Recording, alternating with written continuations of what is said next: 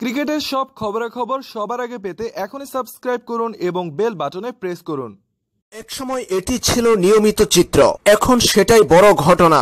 বলে লালা লাগানো নিষিদ্ধ করেছে আইসিসি। কোভিড উনিশ মহামারীর কারণে বলে লালা লাগানোর যে প্রচলন ছিল সেটি নিষিদ্ধ করেছে ইন্টারন্যাশনাল ক্রিকেট কাউন্সিল। তবে সেই নিষিদ্ধ কাজটি এবার আইপিএল হল। আইপিএল এর ম্যাচে এই কাজটি করে আলোচনার খোরাক জুগিয়েছেন রাজস্থান রয়্যালসের ইন্ডিয়ান ক্রিকেটার রবিন থাপ্পা। দুবাইয়ে বুধবার কলকাতা নাইট রাইডার্স ও রাজস্থান রয়্যালসের ম্যাচের তৃতীয় ওভারে ঘটে এই ঘটনা।